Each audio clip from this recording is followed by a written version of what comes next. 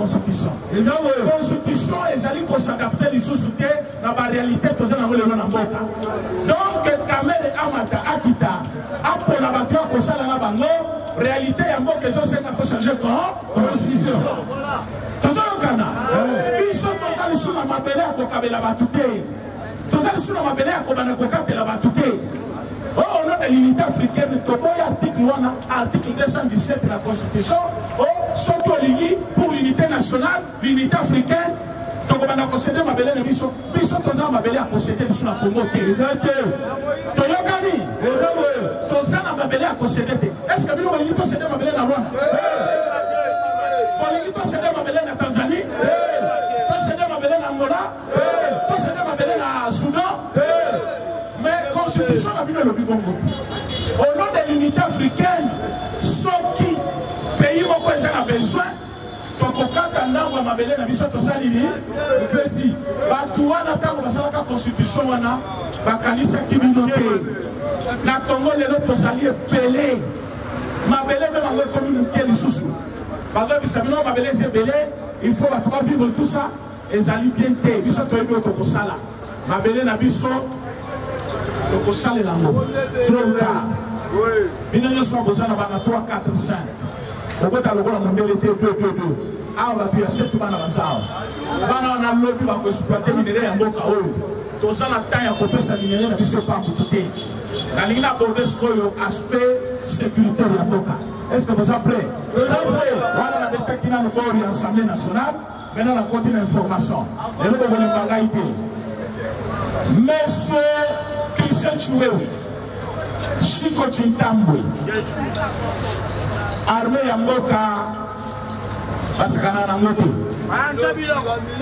Na minute oyo toyuti ko acquérir encore ba drone ya sika betala fashi maboko ba drone fashi ba drone fashi ezali h4 toyebisaki bino makambo ya blage eza lisusu te 4 drone ekomi h4 tokosalela yango kobanda lelo ti tozokunda bibembe toza deja na bahelikoptele oyo ezali kotambola likolo Lelo bolanda RTNC, ça sera un événement. Alors que le 30 juin ici, tozo sala défilé ya monene défilé militaire. Oyo nyonso batiaka tembe na Fatshi, bakomona bango moko na kimonami, bakomona nombre ya bibundeli Fatshi asombeli armée nationale.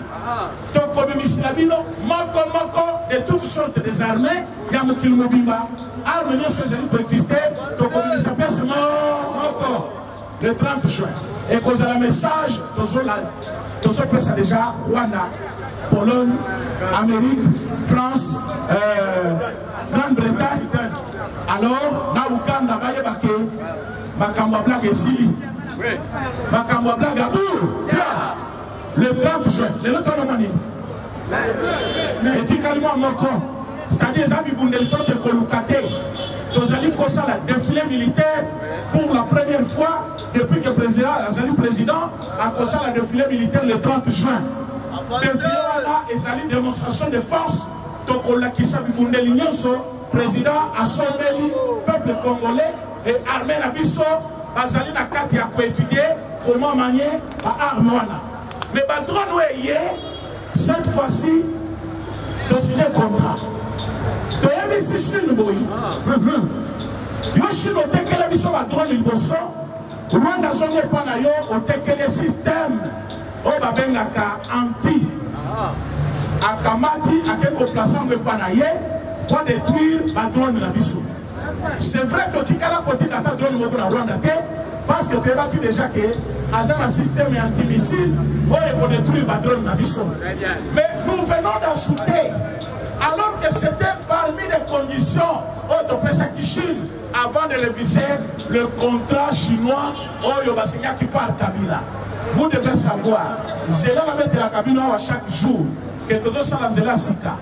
oyo ekobanda na ista ti aeroport nzela mosusu ekobanda rofi ti aeroport nzela wana tozotonga yango na mbongo tosi na contrat oyo kabila signaki wana contrat ezalaki mabe le congo ne profite pas touti korevise contrat wana sino congolaise na kati ya contrat wana Congo atikali lelo ko gagner 7 milliards de dollars. Budget mobimba, budget mobimba, budget mobimba Kabila atikelaki bino. Kabila atikelaki bino 4 milliards 500.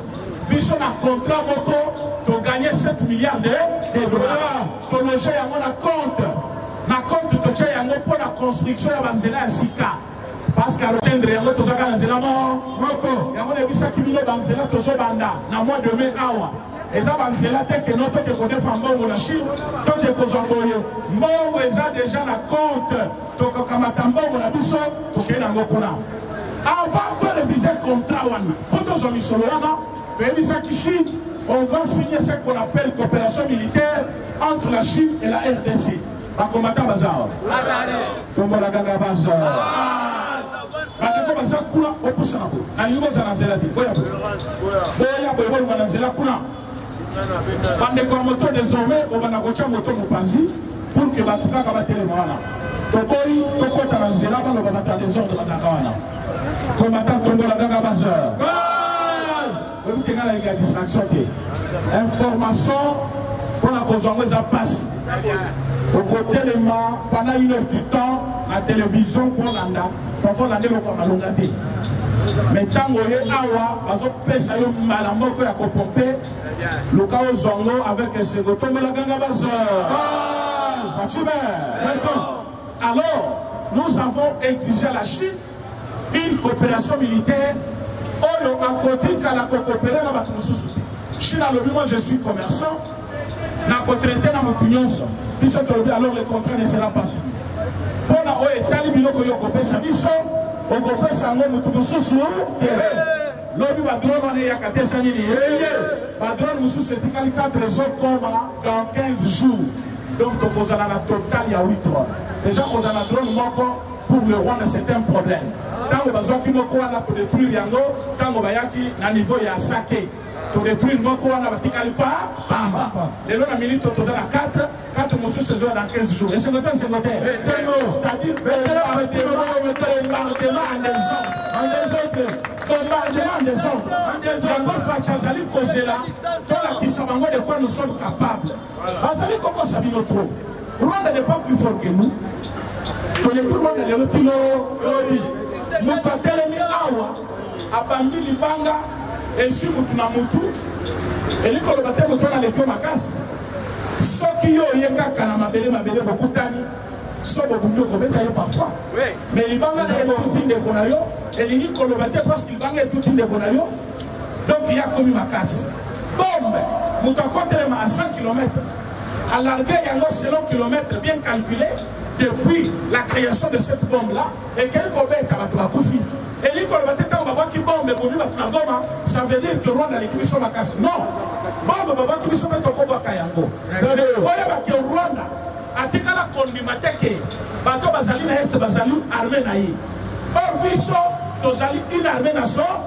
national nyonso tokosala il faut ezala en respect des normes internationales maintenant awa todeside olandaki batribu ya lobi tolandaki ye il ne peut rien faire en politique euh, quoi en plan militaire ou quoi que ce soit bazali propre parole du gouvernement moto atindi kuna se chef de l'état Il a parlé. En deux mots, qu'est-ce qu'il a dit C'est vrai et vous béni. Mais solution na biso, na réponse na biso tokopesa. Tokotambusa mokili. C'est vrai, baboni bandeko na biso. tolingi ke evenema oyo etikala grave na mémoire ya bacongolais nyonso parce que réponse na biso ezali pene bitumba bapesaka date bokobunda te bitumba esengaka juste une préparation le congo se préparer le congo est en mesure aujourd'hui de combattre ntango eyase bazali kokende bayebisaka biso topesi bino un mois bokomona ndenge gome kokwe ekokwea banda eyase bakei ça fait combien de jours bamwa ebele bamwa ce n'est pas bajour hein Donc depuis le mois de septembre, le lelo tokomi la mois de demain. Mais c'est presque 7 mois. Est-ce que basala bazwi goma te donc protection ya goma ezalaki e ya sete bato ya monisco balobi comme tobandi koretire balema na biso goma ekokwei babandi koretire balema na bango depuis le mois d'août donc toza na 7 à 8 mois Goma ekweyi kaka te. Meme soki lelo bato ya SADC wana baza na Congo te, armée congolaise à elle seule toza capable ya kogarde mboka na biso kobeta Rwanda et kosécuriser bafrontière na biso nyonso. Qu'est-ce qui nous manquait? tozalaki na motu akokaki kokomande armée comme il le faut te parce que batraitre rwandais bazaki ebele na kati lelo faci abimisi bango mafasi moko atika armée na bana mboka bana mboka ba décider na sala bitumba na ndenge ya solo na Rwanda donc comme tozoloba na bino boye oyo nyonso bazalaki na kati ya baformation formation na bango ezosila le 12 juin ozolelanga malamu c'est-à-dire na camp nyonso ya congo baformation oyo ezalaki en cours le 12 juin bango nyonso bakolima liba libanda C'est-à-dire, toutes les lignes de front ekozala alimente na bato ya sika bibundeli esi ekomi etikali kaka faci apesa go yango sikoyo lancement ya défilé officiel oyo babengi défilé militaire le 30 juin ekozala juste un avant goût tozopesa na rwanda tolakisa ye oyo toza capable ya kosala ye Et soki message ekomeli ye kayoki yango bien te toko passer par l'action est ce que bolingi action esalema est ce que bolingi action esalama bolingi tonyaka rwanda totambola rwanda makolo Mais pour la kokota na Rwanda, il faut armée na biso elenda. Yango tolendisaki d'abord armée. Yango tolisaki d'abord armée. Yango tosombelaki bango déjà bibundeli. Yango topesi bango les atouts. Maintenant tozoleka na action. Maintenant motu oyo azaki ko nyokola esprit na biso kombo na ye Kabila. Kabila était ici au Congo comme un ancien président Mais entre temps, misolo nyonso ya banque si, si. oyo ayibaki parce que ça je vous l'ai dit naza bacombattant mokolo bomonaka chef de l'état kokende na palais de la nation pour être investi na 2019 à la veille nango kabila bimisaka na compte ya banque centrale est ce que ozolanda ngai ozali oh, la caméra, c'est la télévision gouverneur de la Banque, a la profité, il est vivant kabila a fait sortir de la banque centrale le même jour 800 millions de dollars euh, euh. La veille, à jour, il fallait chef de l'État prêter serment. Caméra Zali, à ce gouvernement il y a Banque Centrale. A profiter, le chef a eu connaissance de ça. Après contrôle, deux ans après, babengisi sikoyo gouverneur ya banque deogratias lutombo baye kobengisa biso joseph kabila ayebisi fatiner nabimisaki yango parce que je n'avais pas l'assurance que tokolabo mais comme namoni kozobatela ngai problème eza te on va coopérer c'est depuis ce jour là que fatch avait donné l'ordre esalaire na ye ya 700 000 dollars ekatama na compte ya banque centrale babanda kopesa ye 17 000 dollars etango monsieur nicolas kaza ayaka koinforme bino ke tokati salaire ya ya kabila tokoma kofuta ye 17 000 wana ezalaki une année 7 mois après salaire esekatamaki déjà Parce que bazalaki kofuta 700 000 dollars. Alors que Yesu abimisaki na compte plus de 800 millions de dollars.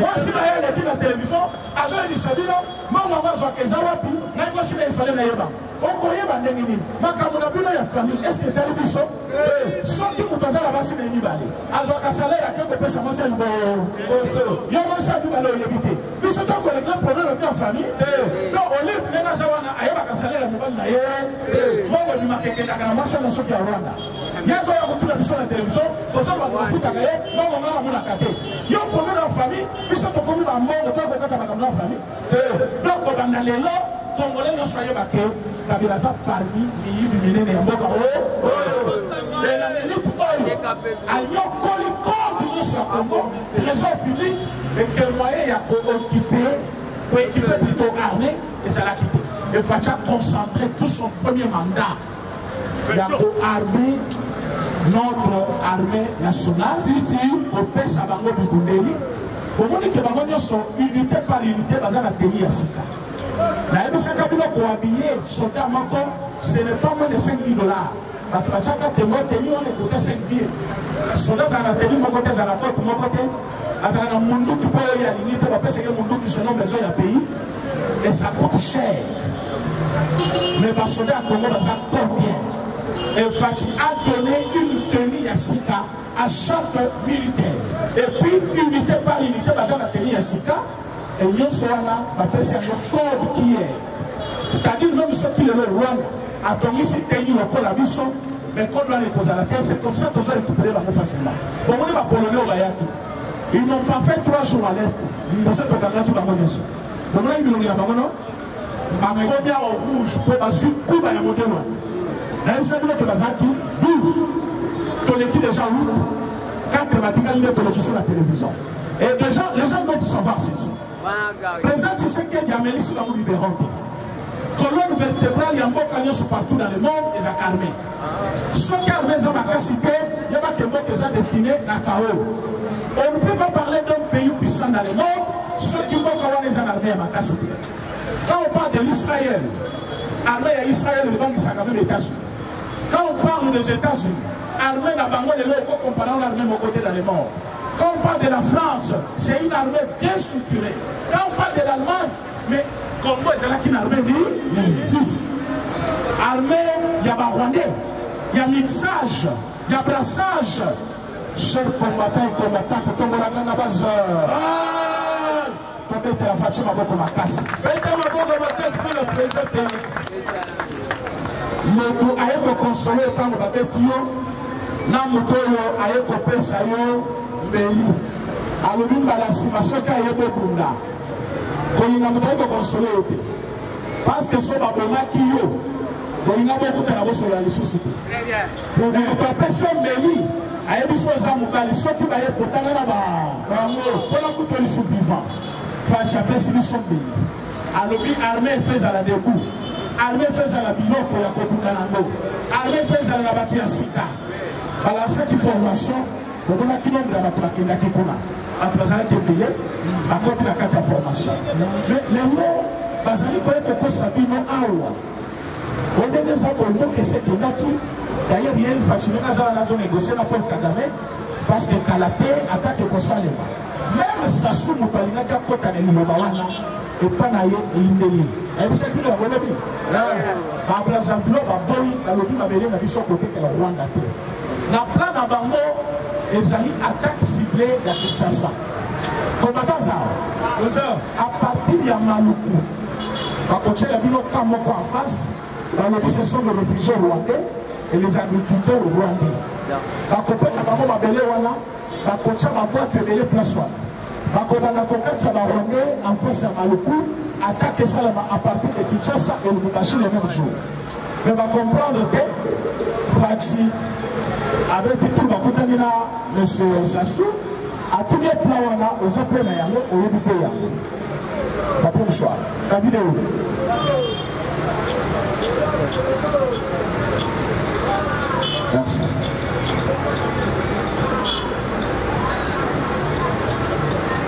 Fatshi a tout dit, monsieur Sassou, qu'est-ce que tu fais sasa alobi natekeli bango mpo ba exploite eza te mpo batya basoda nde bozokanisa faci abimisi karte mobimba apesi sasa afungoli monoko amona de jour soulèvement nayebisaki bino ke bazosala marche na braza e nayebisaki bino ke mokolo marche ezosala na braza biso mpe na kinshasa tokosala ma marche il faut koboya batutsi sur le sol congolais Les Tutsi bazalaka na manœuvre moko, bamisalaka victime, bazalaka minoritaire, kaka bango nde bazalaka na raison. Soki bakopi na Brazza wana bakoluka kolunga lisusu te, bakoluka batinga mama na libela. Or Fatshi ayebisi ye, moi j'ai déjà une solution. Yo soki otye bango awa okotya biso en conflit na yo mpo place nyonso rwanda akozala mpo na kobundisa ngai Na kokoma wana. Voilà déjà ce que j'ai signé avec la Russie. On est à la façon maboko. La Russie va déployer des militaires russes sur le sol congolais. Et c'est le temps, c'est le temps. Et c'est le Fatcha Yebisi, l'Américain. Ayebisi, l'Occidentaux. ozali kozwa chine lokola modele te bolobi bazali badictateur jete en chine Na moni que bazo vivre bien na système na bango. Et vous me demandez soki tokozwa Chine na Congo, tokoyambe russe nani Poutine na Congo. Mais bango baza le bienvenu. Na Afrique, parce qu'ils ne prétendent pas nous faire la morale. Bino musala na bino, Congo na biso toujours sous-développé, bana na bino, bato il faut boéduquer à tout moment.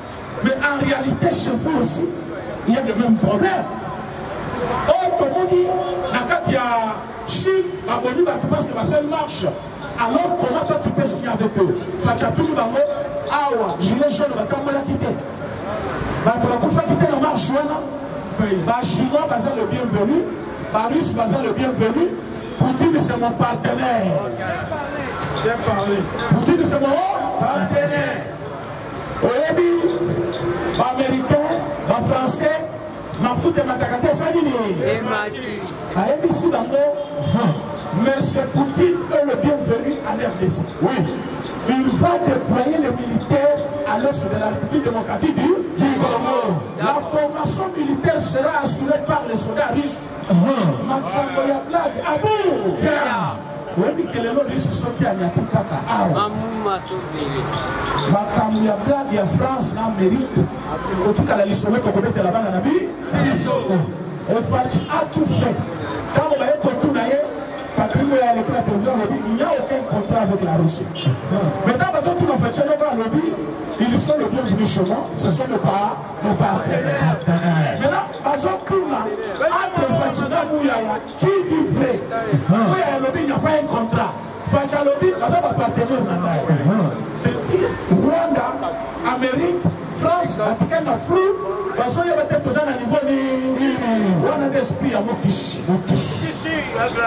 Etienne Tshisekedi na kati ya fils bayebisi bango toza na contrat te me toza bapa okomi bapartenaire ndenge nini sans contrat vena sikoyo obundisa biso oyebana naza nsima na biso parceke biso toyebi deja nsima ya rwanda ya amerike mena yo oyebi te nsima ya kongo ya ena russia eza wana Russie sikoyo bango balobi Amerique, France, place nyonso otan ezali soki kaka nayoki kaka ata litanga moko ngai mpe naza wana yango batindi paul kagame ake kosepare relation ya président ramafosa avec le président Félix Tshisekedi esimbi te batindi bato batindi mibembo batindi baor ramaphosa alobi ngai je suis le représentant ya vladimir poutine na afrique soki na change camp na trahir peuple sud africain et comme maintenant moi je suis avec Tshisekedi mhm. Tshisekedi avec Poutine Poutine avec moi Moyen ngai na lingana eza te. Est ce que ba combattant baza? Ba combattant ba na score wana. Ba combattant ba baza. Na ebisa kibino koma le pomerage. Amen. Congo ne t'aimera jamais. Président Tshisekedi ne trahira jamais. Ils nous ont trahis. bamemeli biso barebele rwandais bamemeli biso bamixage na brassage afaci par contre amemeli biso basoda russe na congo na minute oyo badrone eye avant esala mosala ba formateur russe bakozala deja na pointe ce qui fait dire awa tozoloba na bino chef combattant chef combattante rwanda d'abord monsieur paul kagame avait changé son domicile ayebisaki bino yango alalaka liso na ndako na ye te depuis mokolo faci asalaka menace asalaka na njini monsieur paul kagame avait changé domicile ndenge monsieur oyo nani cardinal abongo alongwe place avandaka ndako ezalaka reserve mpo na pape nde place akomi kolala na minute oyo eyindeli ye bayebisi ye ndeko cardinal bakokanga yo te me ndenge oza wana yo moko oyebi makambo osalaki kobongo bandeko ya cardinal baza wa ambongo ke Tombola, tombola, tombola, gaga basa. Chibe, gaga. Banani balingi Poutine ya na Congo? Biso, biso, bas, bas. Banani basepeli na contrat entre Poutine na Congo? Biso, bas, bas. Banani basepeli na Fatshi mpo na partenariat avec la Russie? Biso, bas, bas. Nazali koconfirme bino que eloko Patrick Moya asalaki ezalaki politike batunaki ye en tant que ministre de communication pour ke ateka mboka mais faci alobi ngai nde vrai diplomate nakobetela bino yango de ma manière ntango batuni ngo ya yango alobi aucun contrat na été signé entre la russie et le congo mais faci ayebisi bango poutine c'est mon partenaire obunda na bino na bino soko koyeba N'est-ce pas? Komi partenaire ndenge partenariat moko sinya ngo wapi? Et partenariat ngo ya nini? Moko pelaka na nini? Na nini? Putin atekaka ndunda. Eh. Matunza. Matunza. Atekaka matu. Matunza. Rwanda kamata ya. Yango. Toko toko tambisa bango chez nous. Toko Rwanda ako se rappeler tii de generation en generation mabe asali Congo. Et cette generation ekoleka te. Bomoni na Goma lelo c'est un événement. Et bato nyonso bakomona nde bakunda bibembe wana. Je ne pense pas un seul enfant oyo akokanisa mokolo ya lelo Atikala kaka ndenge Nzambe akela ye. Eko changer ebongo na ye. Très bien. Soki omoni bibembe wana otali yango 2 minutes nde oza vrai congolais. Bakolo ya bandeko na biso ntango eza etale malgré ekotaki morgue ebimi il faut ozala congolais mpo supporter ya. Le 20 12 heures ici, inhumation ezobanda Et place wana nde tokotia memoria. Très bien. Tango Poutine akokoma na Congo, mhm. eloko ya liboso akosala akokende wana. Visite. Et président nyonso akonyata Congo, tokobanda d'abord komema ye wana. Mhm. Il faut ko rendre hommage na ba Congolais nyonso bakufi. Rwanda bazali ko célébrer génocide na bango. Mais nous nous sommes au-delà de 12 millions de morts. Oh. On n'a jamais célébré. Et Fatshi alobi cette fois-ci ou jamais. Oui. Et la bonne manière ya kolela bango ezali kokende kaka kobuzama na batome na bango te mais ezali kozongisa la même réaction na rwandais c'est-à-dire barwandais bakozwa oyo bango mpe bapesaki biso mais bokeba botala oyo esoleka entre gaza na israel lelo nde nakomi kolela nani akomi kolela te gaza me nani abandaki kaka gaza moto abandaki bango nde babandaki bake koprovoke israel me israel ntango azongisi natangaki compte lobi ya président Anani, le premier ministre Netanyahu. Vous voyez ce qu'il a dit Il a dit un verset biblique. C'est par là que tout le monde reconnaîtra que vous êtes mon peuple. Mm. Et aujourd'hui, mm. ce verset est accompli. Bakamati Bubundeli à Israël. balobi lokola bino boyi boviole bajuive bokamati peuple ya israel bobomi bosui en otage tokolakisa bino ke nous sommes un peuple béni de dieu bakoteli bango kuna biso bato tozalaki nsima ya israel tokomi kolemba mpo na komona nombre ya bibemela bana oyo bazokufa me ezalaki riposte lelo bato bazoseka congo lelo bato bazoseka président tshisekedi parce qu'il se prépare maintenant préparation esilaka te eza nini bacontra esilaka te eza nini bapartenariat eyaka te eza nini miduka eyaka te quatre trone diku eza moke te sisi tozwi yango lobu h4 batrone ya si ya sika so tobeti kaka moko sadi ezopompe na masasi ndenge rwanda aza wana bayebi deja ke kobanda mokolo ya lelo ndenge ntongo etali lelo boye mhm. bakoprovoke biso liso te mpo batus wana ekomaki lo mhm. lelo lisikoyo tokoitilise wata lelo tosa toleki ka na kigali wana mhm. toleki ka likolo ya kigali pendant une heure du temps affaire esi mais sikoyo e 4 et dans 15 jours 4 mosusu ezosali nini yoke ekobala tisekilisumuninganiao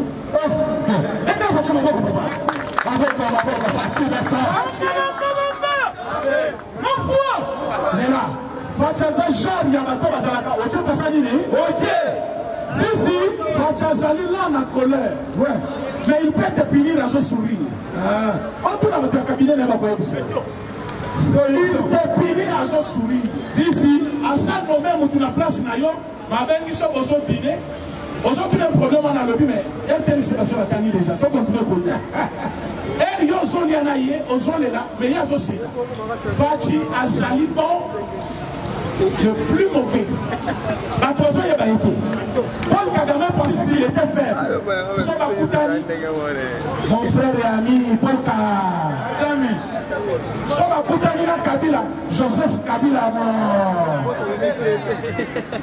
Mokolo abolo kasi avec le Congo. Soki lelo Congo biso ba Congolais tozui volonté ya kochange mboka na biso tolongwe na babiloko ya buzoba tolongwe kosoutenir bato oyo bazosala buzoba mpo na mboka na biso omonaka ekongo na biso ekozwa marche mosusu base tolobaki lisolo ya mbongo awa awa awa eza na bandeko na biso mosusu bamoni comme si on s'attaque à l'église catholique idps vivant idps vivant mais biso tozo s'attaque na église catholique te tozo s'attaque na individu ya mbongo tozo s'attaque na individu ya mbongo pasi ya mbongo makambo alobaki makambo ya mbongo akendaki kosala bandeko na kotyela bino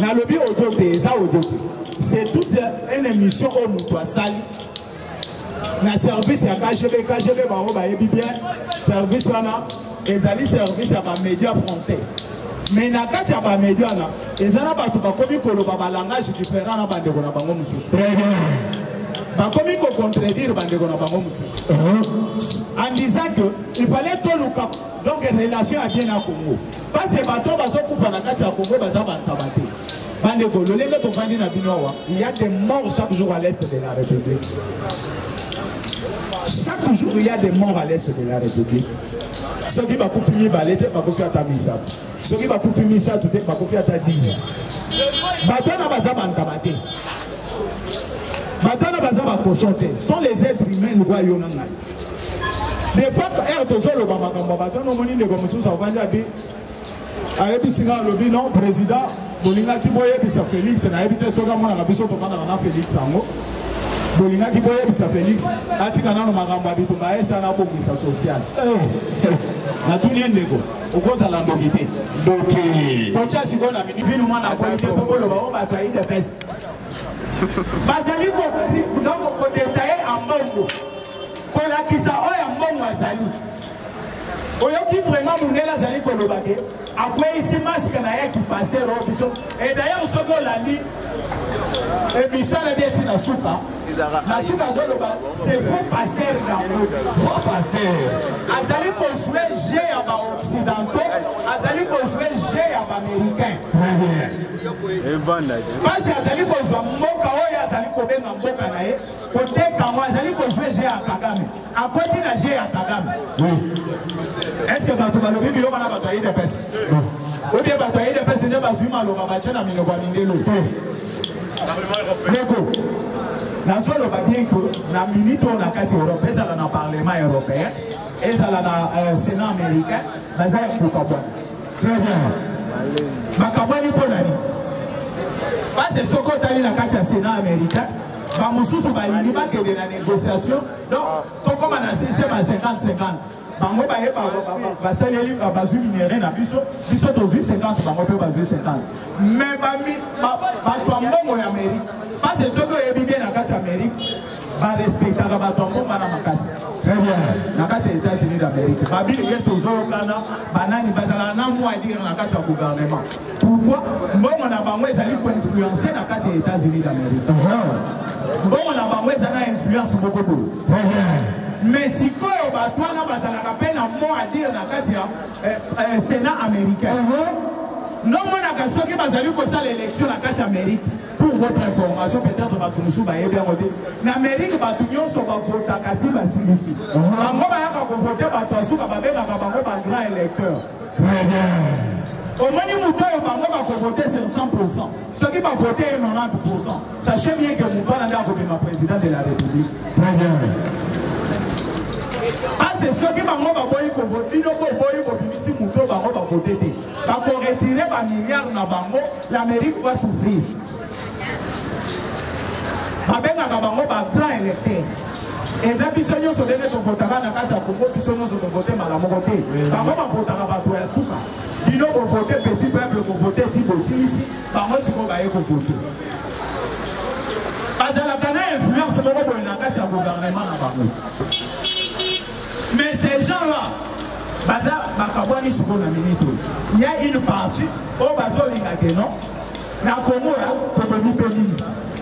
Parce que qu'on se dise vrai, ba minerais bazoyiba na kati ya Congo ekendaka na gouvernement américain te, ekendaka na gouvernement français te, ekendaka na gouvernement belge te, eza biloko ekendaka na bapoche ya baindividu.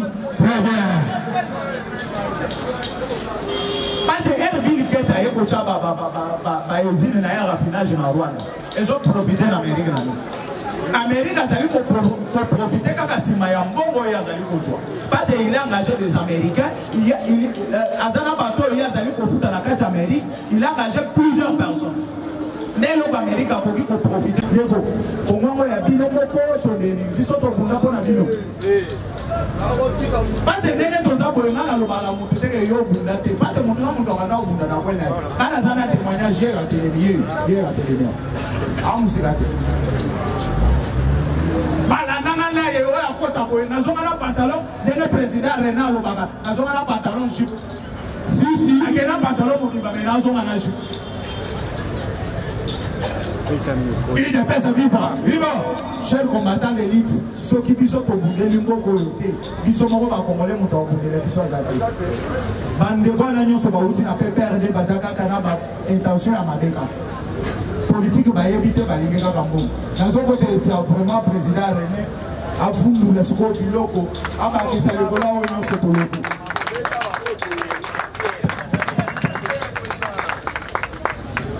Independence viva! Viva! Ande kuna tele. Mère ko tele ba. Ko tele ma le meko zo kunda bibembe ya bande kuna biso. Oyo bakufaki na bombardement ya Est. Bazalaki 15 le premier jour Avec l'évolution ya ba accidentés, tokomi na 35 morts lelo, plus 37 blessés.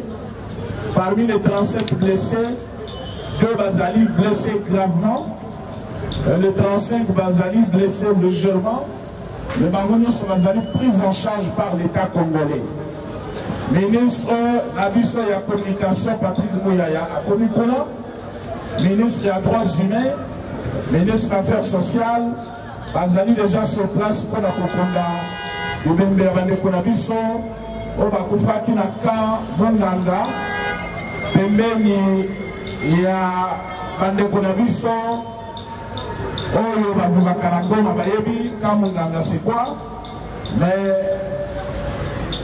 bapota oyo etikali na mitema bakongole nyonso tokolave yango kaka so tokangi kagame na maboko boye to boye te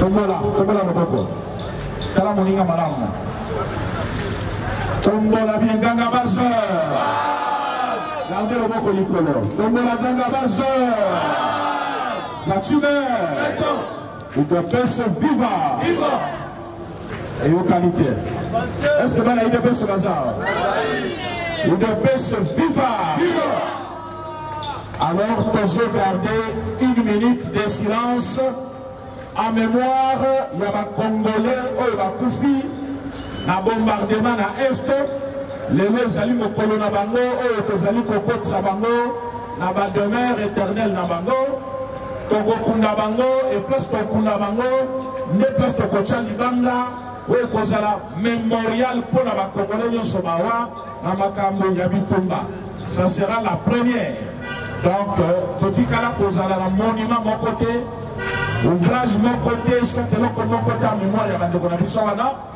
Mais une nouvelle histoire sera écrite maintenant.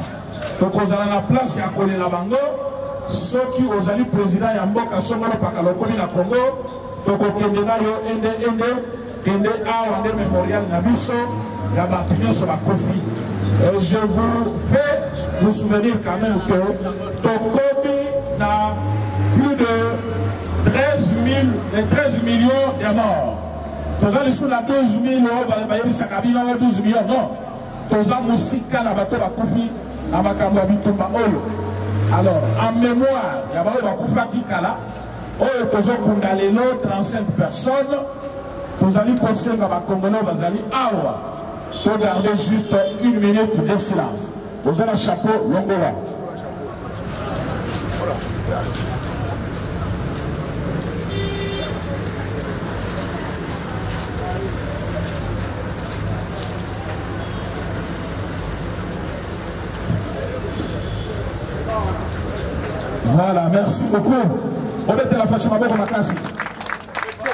Betama wao makasi mpo na Fatshi Bekese Nsebenga combattant et combattante mbote na bino mbote abandaki deja koloba napesaki bino mbote te le bonne manière oblige aussi kokoma awa na ntongo chaque jour ezalaka mosala boni boni na minute oyo bazali na ba mbeto na bango nano balamuki te mais yo oza deja mpona koyoka biso c'est vraiment sacrifice opusana boye botika mituka eleka tokanga nzela te tozalaka bato ya desordre te boye to boye te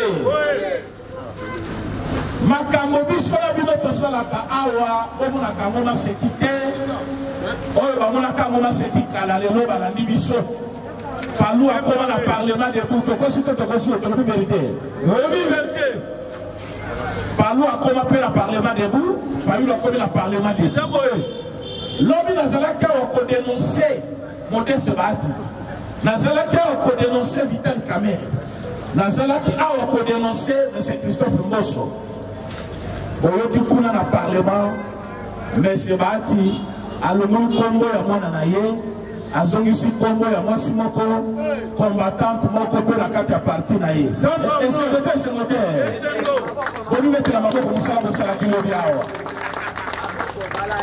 Monsieur Bahati atiaki mwana na ye comme membre du bureau na poste ya questeur tolobaki se impossible mboka oyo ezali na jeunesse à 80 na kati ya chômage me bango nyonso batanda koma na parti politike ya monene lokola afdc e allie bakozwa kaka mwana baati batya ye na poste ya kester na bureau ah, ah. c'est la première fois akoma député kaka mwana na ye parce que afdc mobimba bato baza te ça s'appelle en français Nepotisme et tango to decree yango awa lobi baati alungulu kombo ya mwana na ye na butu pourtant mwana avait déjà déposé candidature na ye kombo esekoti baati asigne te document mokolo alobi document ya liboso consentement de candidature c'est-à-dire bayokani mpo na candidature ya madame chimene wazali motu ya comment on appelle ça Côté Babomaki, bah, jeune moko baviolaki une jeune euh, Kasaïm comme ça, c'était où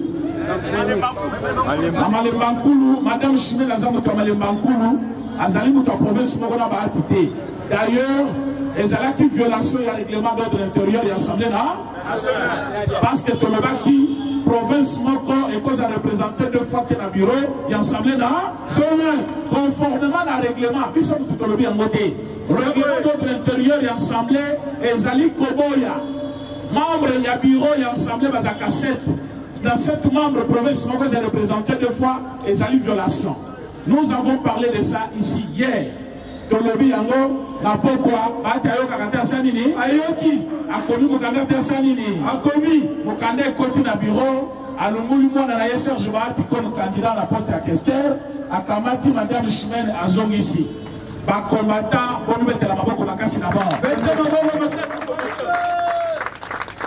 Une poste viva. Viva. Tozo bandela.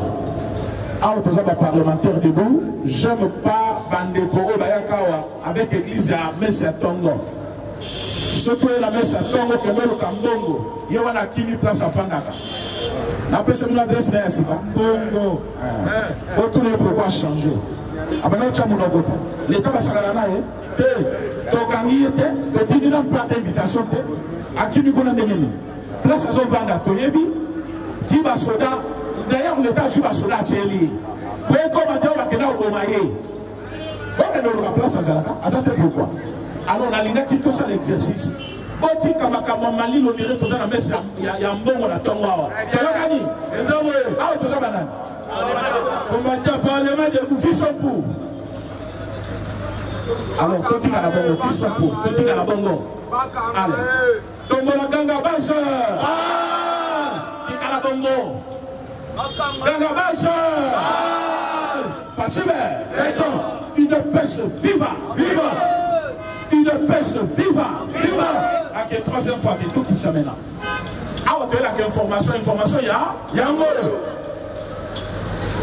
Na kati ya makambo tolobaki lobi, il n'y avait pas une partie de vérité, mais totalité de vérité.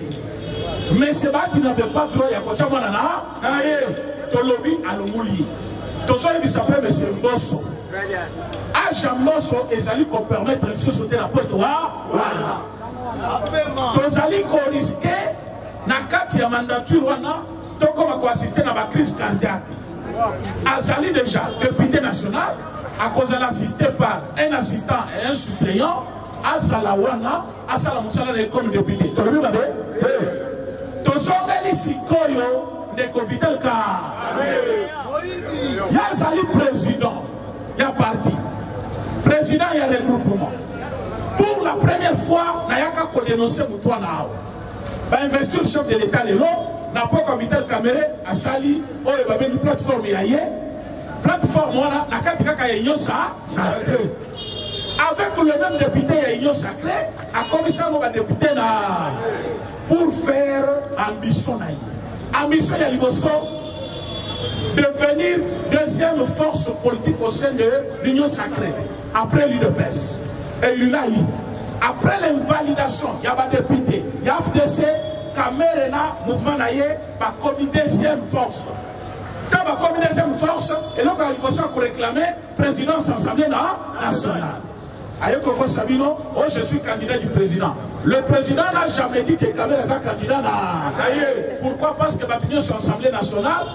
Bato nyonso ya Union Sacrée plutôt bazali bato ya président. C'est le président qui a formé l'Union Sacrée. Moto abengaki consultation, abomi relation ya FCC et Cash, c'était président.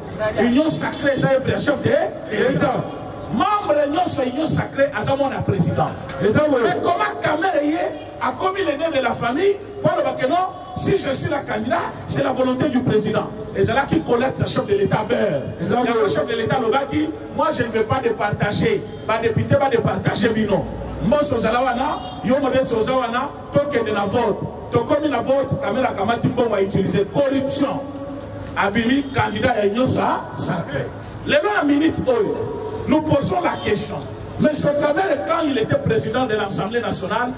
na moma ya kabila la gare de l'est ezalaki kaka nini asalaki par rapport ya guerre toza nango na est soki eloko te na minute oyo guerre wana ekomi intense mpo bango batikeli biso na rwandais est ce que akosala reforme oyo ekopermettre biso tobeta rwanda alors présence na ye kuna eza passe temps yango biso tolobi kamere liba ayoka yango mpe kamere liba union sacre bandimi ye baza badepute bavote ye kuna biso toza peuple congolais nous avons droit de décider de ce que nous voulons eza te parce que bango bavote ye kuna eza volonté na biso nyonso kamere akozala kuna mais akoede biso te ya kobomisa rwanda parce que l'unique personne Depuis mandat oyo ebanda, wakenda koyebisa chef de l'État, tobunda te tonégocier eza kaka kamere.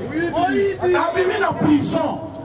Président, il faut la na est, comme l'autre prison, moral ya bato eza bien te, il faut la ke komaîtriser bato. bakamati mosolo bapesi ka kamere kamere adusuli tokanisa suka na bukavu tomoni kamere na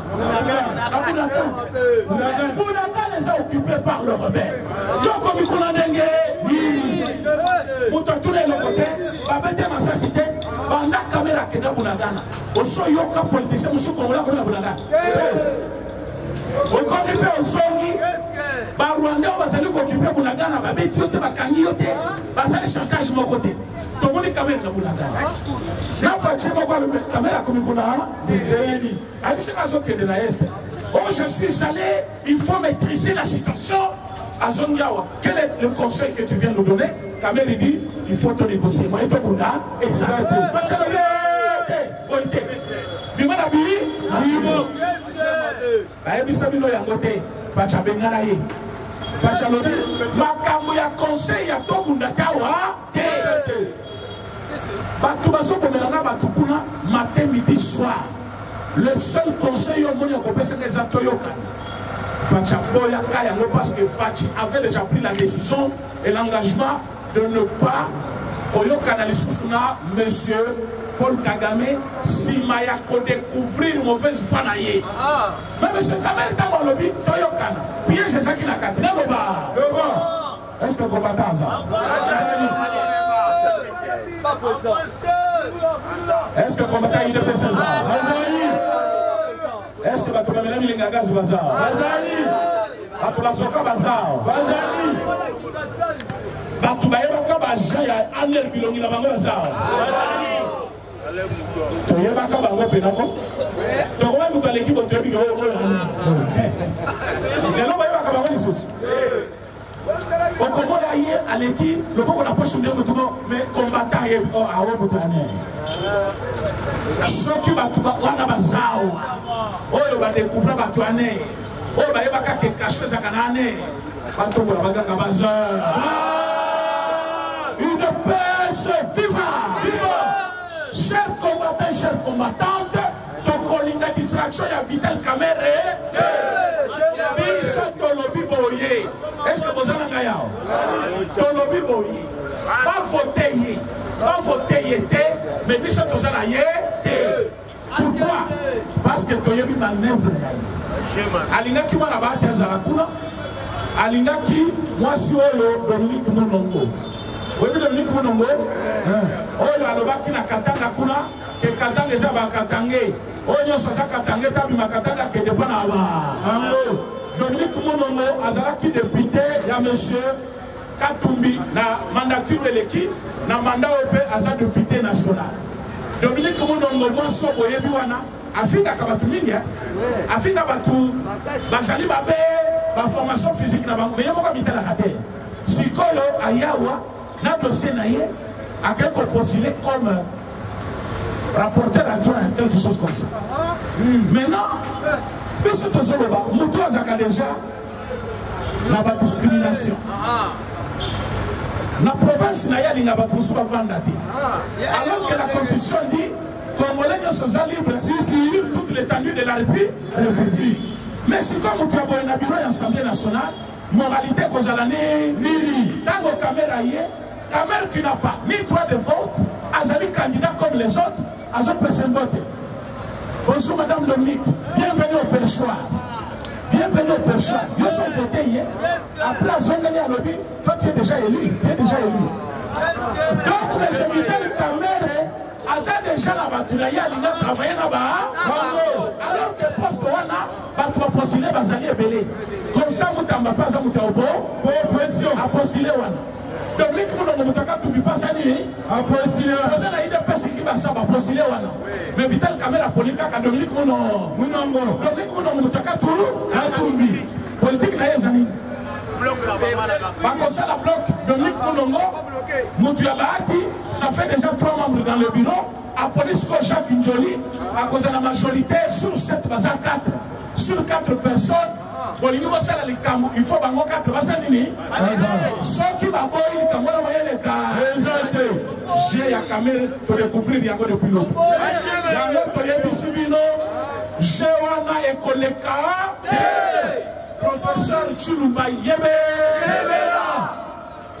Professeur Chiluba Yebe biso totye yo wana Kabunda asala biso mabe oui Kabunda akomaki na baintervention oui mais Kabunda ntango azalaka na poste wana atelemelaka Janine Mabu lelo totindi yo professeur de l'université professeur Chilumba tolobi Chilumba ike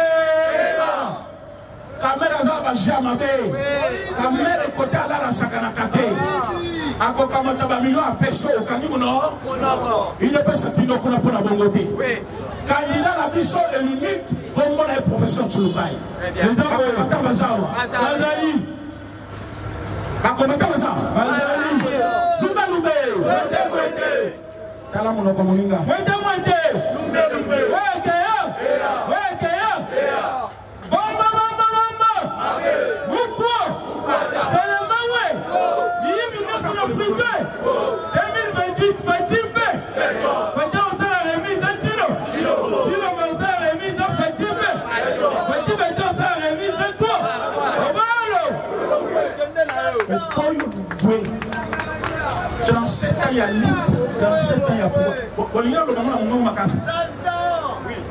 Est-ce que tozo batama? Politique ezalaka lipa nango bate cadeau ezalaka te. Constitution tozo changer yango. Kamera azala wana azala wana te. Tozo changer